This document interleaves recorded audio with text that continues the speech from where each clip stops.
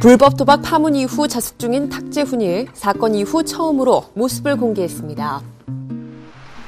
지난 20일 탁재훈과 함께 컨츄리 꼬꼬로 활동한 신정환의 결혼식이 있었는데요. 비공개 결혼식에도 불구하고 많은 하객들이 함께해 눈길을 끌었습니다.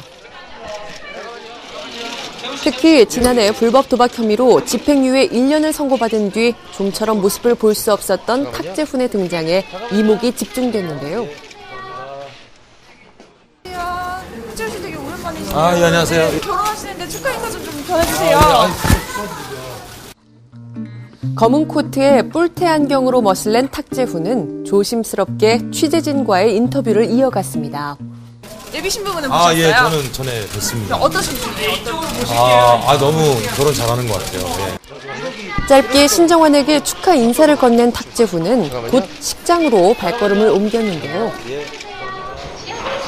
탁재훈의 모습이 언론에 공개된 것은 근 1년여 만이죠. 탁재훈은 지난해 12월 불법 도박 혐의로 징역 6월에 집행유예 1년을 선고받았는데요. 앞으로 많이 뭐 자숙의 시간을 갖고요. 예.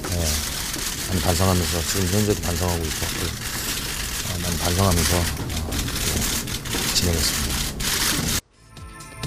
재판 이후 외부 활동을 자제하며 자숙의 시간을 보냈던 탁재훈은 다시 이혼 소송 소식을 전해 팬들을 놀라게 했습니다.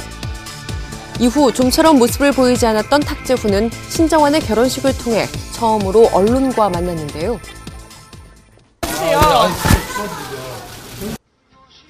힘겨운 시간을 통해 더욱 빛을 발한 탁재훈, 신정환의 우정. 앞으로도 계속해서 빛나는 우정 쌓아가길 응원하겠습니다.